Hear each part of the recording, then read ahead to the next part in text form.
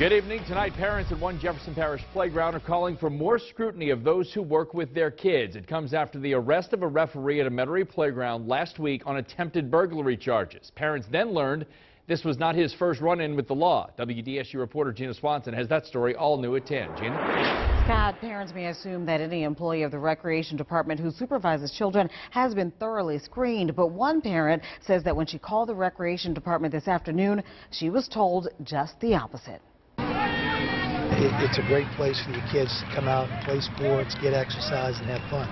Springtime means an afternoon at the ballpark for hundreds of parents in Jefferson Parish at Girard Playground.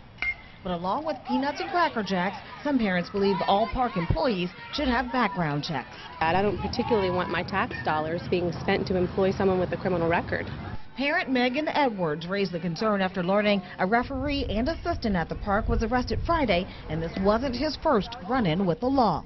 The person with that kind of judgment and that kind of background, again, being in charge of refereeing a game for young children is particularly disheartening. Kenner police confirmed 22-year-old Brandon Labradette was arrested on three charges of attempted simple burglary. The Jefferson Sheriff's Office confirmed that Labradette was still in jail as of this afternoon on a $30,000 bond, and records indicate he has prior arrests in 2009 and two in 2012. Edwards says she called and spoke with officials with the Recreation Department and was surprised by their response.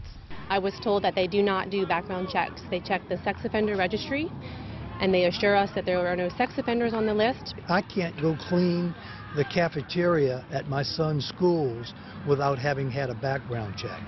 We contacted officials with Jefferson Parish and were told their screening policy for the Recreation Department wasn't readily available. Edwards says she was told that some park employees are put under more scrutiny. They do do background checks on the groundskeepers, the people who mow the lawns, who are not in direct contact with our children.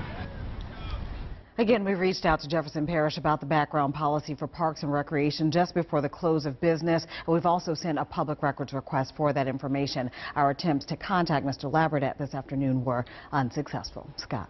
All right, Gina, thanks. Police say Labradette was spotted pulling handles on cars, door handles on cars in a Kenner subdivision Friday that led to the attempted simple burglary charges.